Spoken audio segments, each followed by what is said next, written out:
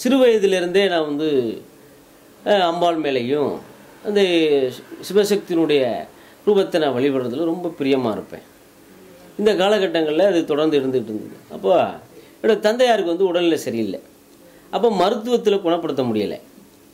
எவ்வளவோ மருத்துவம் பார்த்தோம் எவ்வளவோ மாந்திரிகம் அதெல்லாம் செஞ்சாங்க எந்த விதமான பலனும் கிடைக்கல. அப்போ என்னுடைய நண்பர் ஒருத்தர் அப்போ தான் முத முதல்ல என்னுடைய குருநாதர்கிட்ட கொண்டு போய் அறிமுகப்படுத்துகிறார் அவர் எங்கே இருக்கிறாருன்னா புள்ளிமலையில் இருந்தார்.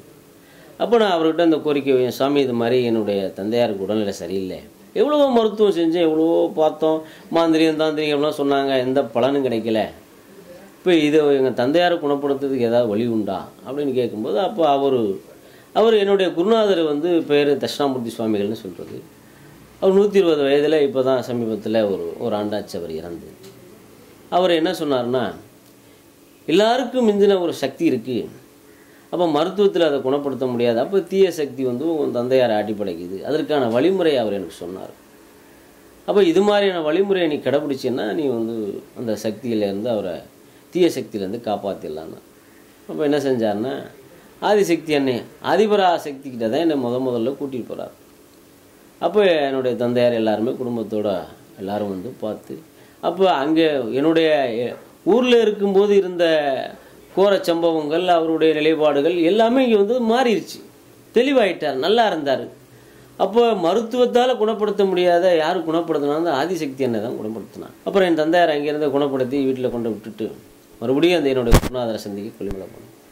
அப்போ அவர் சொன்னார் உனக்கு அம்பாள் மேலே வந்து ஒரு ஈர்ப்பு சக்தி அதிகமாக இருக்குது அதனால் நீ வந்து அம்பாளை வழிபடு. உனக்கு பரிபூர்ண சக்தி கிடைக்கும்னா அப்போ என்னுடைய பெரிய தந்தை தான் அதை வந்து அந்த கோயில் பராமரிப்பு இதெல்லாம் செஞ்சிட்ருக்கார். அவர் இறக்கும் தருவாயில் என்ன செய்கிறாரு என்னை கொண்டு போய் இந்த எங்களுடைய குடும்பத்தில் தலைமை வாரிசாக நான் தான் இருக்கிறேன். அதனால் என்னை கொண்டு போயிட்டு அந்த இடத்துல வச்சு இனிமேல் இந்த ஆலயத்தினுடைய வழிபாடு பூஜை முறை இது எல்லாமே நீ தான் செய்யணும்னு சொல்லி என்னக்கிட்ட அதை ஒப்படைக்கிறார். ஒப்படைக்கும் பொழுது இல்லை அவர் ஒரு சில உபதேசங்கள் பண்ணி எனக்கு ஒப்படைச்சார்.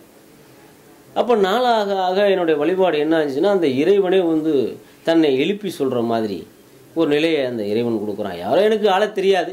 எழுப்பி சொல்லுவாங்க நீ கோயிலுக்கு இத்தனை மணிக்கு வா இதை செய் அதை செய்யன்னு சொல்லுவாங்க. எனக்கு புரியலை ஆரம்பத்தில். அதுக்கு பிறகு மறுபடியும் என் குருநாதரை வந்து சந்திக்கிறேன். இது மாதிரி சுவாமிகள் என்னுடைய தந்தையார் பெரிய தந்தை இப்படி சொல்கிறாங்க என்கிட்ட உபதேசம் பண்ணிவிட்டு அவர் இறந்துட்டார். அதை பற்றி நீங்கள் சொல்லுங்கள் சாமிங்கும்போது அவர் சொல்கிறாரு இனிமேல் வந்து அந்த காளிகாம்பாள் ஆதிசக்தியினுடைய அம்சம் உன் உடலிலே புகுந்து குடிகொண்டு உனக்கு அருள்வாளிப்பா. அதற்கான மந்திர உபதேசங்களை அதுக்கு பிறகு தான் எனக்கு பிரயோகம் பண்ணுறாரு அப்போ சில காலங்கள் அவரோடவே இருக்கிறேன். அப்போ எல்லா விதமான மந்திர உபதேசங்களையும் எனக்கு பண்ணி விடுறாரு. ஏன்னா அவருக்கு சீடனாகவே நான் ஆயிட்டேன். அந்த சக்தி கொஞ்சம் கொஞ்சமாக எனக்கு உள்வாங்குது. அதற்கு பிறகு தான் இதுக்கு முன்னால் வந்து எழுப்பி சொன்ன விஷயங்கள்லாம் எனக்கு நினைவுக்கு வருது. ஓ இதுதான் தெய்வத்தின நிலைப்பாடா அப்படிங்கிறது அப்போ தான் நான் உணர்றேன். ஒரு காலகட்டத்தில் வந்து எங்களுடைய குலதெய்வ வழிபாடு நடக்குது.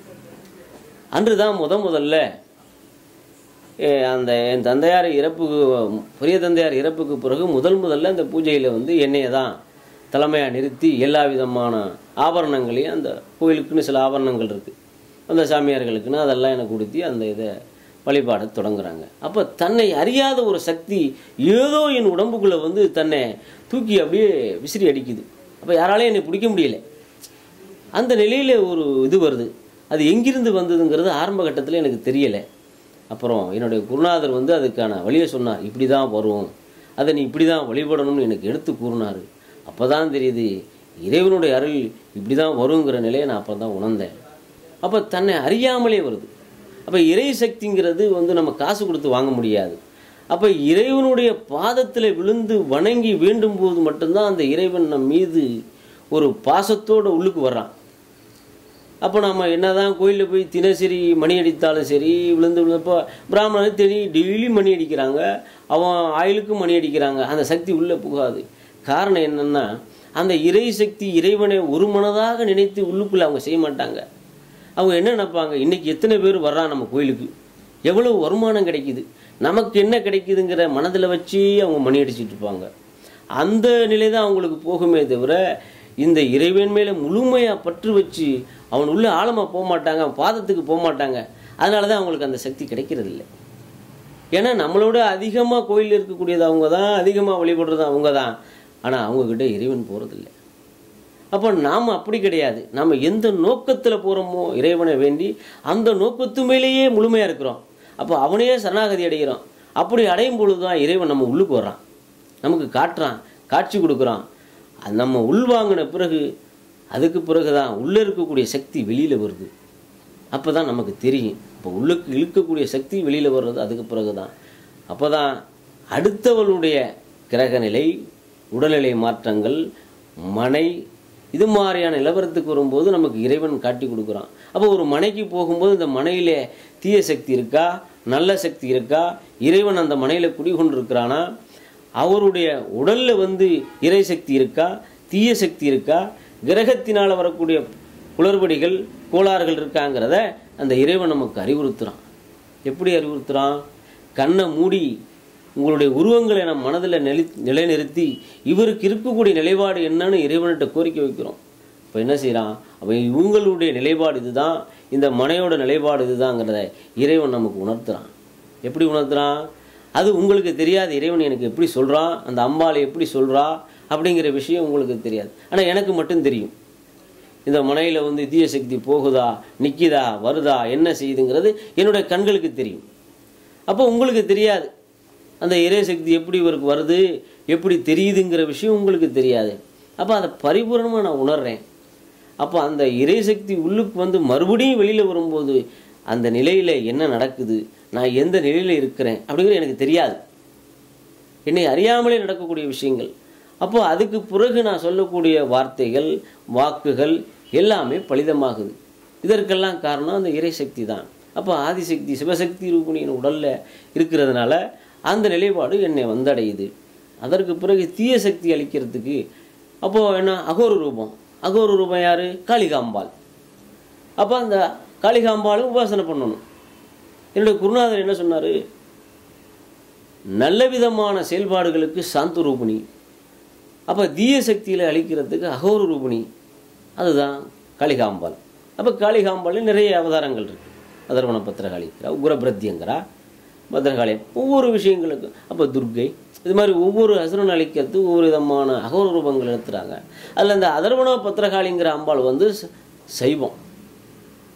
அப்போ நரசிம்ம அவதாரத்தை தூக்கி விழுங்கிய அம்பாள் தான் அந்த அதர்வன பத்திரகாளி உக்ர பிரத்யங்கரா அந்த அம்பாள் எப்படி உருவாக்குறான்னா இரணியனை வதம் பண்ணுறார் நரசிம்மர்.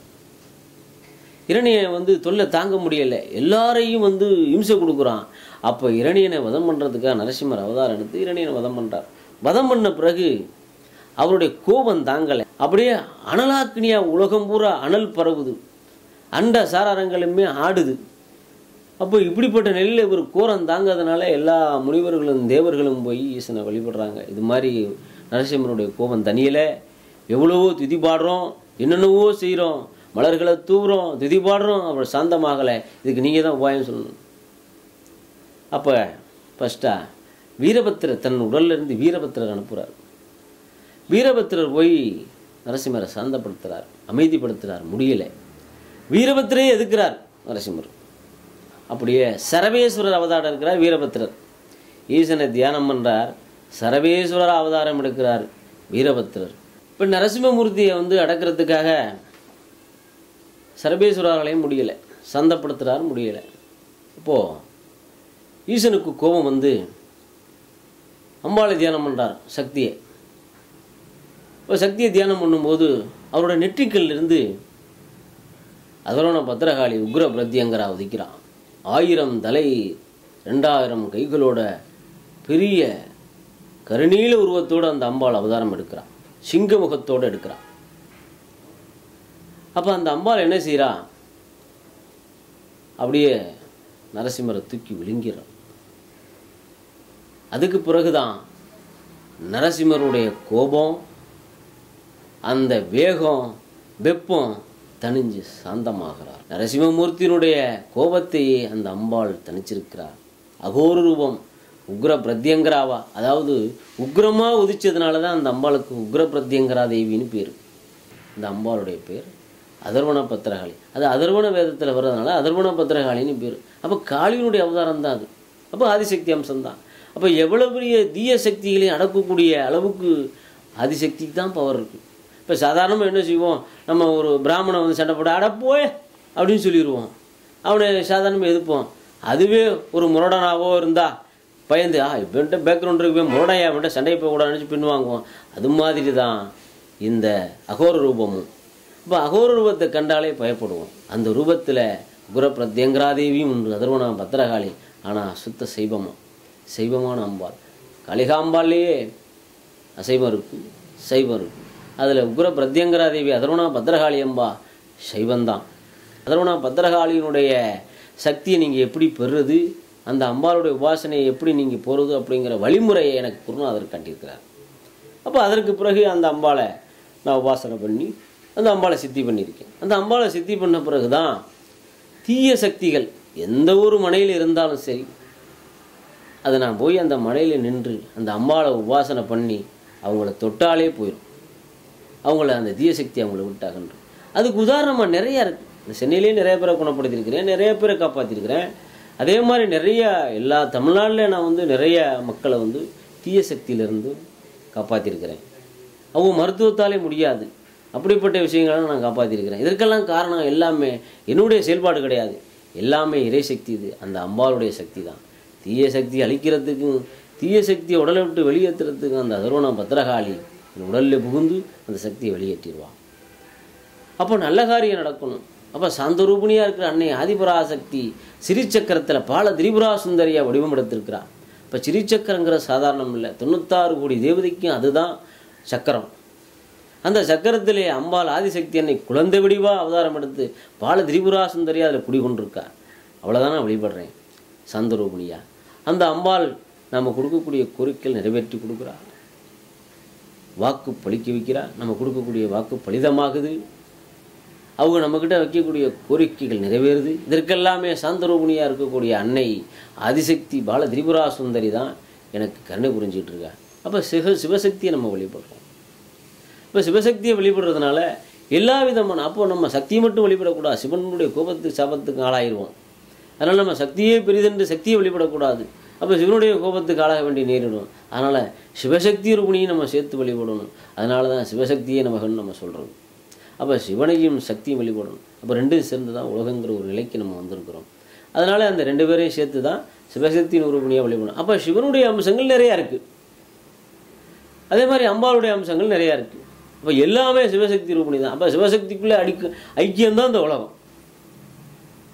அப்படிப்பட்ட நிலையில் இருக்குது அந்த அந்த மாதிரி நிலைப்பாடு வரும்பொழுது தான் அந்த என்னுடைய குருநாதர் வந்து இந்த சிவசக்தி ரூபிணி எப்படி வழிபடுறது ஒவ்வொரு தெய்வங்களுடைய அனுக்கிரகங்களை எப்படி பெறுறது? ஒரு சில இடங்களில் தீய சக்தி வந்து கோ- ரொம்ப கோரமாக இருக்கும். அப்போ அந்த இடத்துல இருக்கக்கூடிய தீய சக்தியை எந்த தெய்வங்களை கொண்டு நாம் வந்து அதை வெளியேற்றணுங்கிற ஒரு நிலைப்பாடும் எனக்கு உபதேசம் பண்ணியிருக்கார். அப்போ நோய் நொடியில் படுத்து கிடப்பாங்க தீய சக்தியால். அப்போ அவங்கள குணப்படுத்துறதுக்கு எப்படி நம்ம பண்ண முடியும்னா சித்தர்கள் வழிமுறை. அப்போ சித்தர்கள் உபாசனை நமக்கு இருக்கணும். அப்போ அந்த உபாசனையும் எனக்கு சொல்லி கொடுத்துருக்காரு குருநாதர்.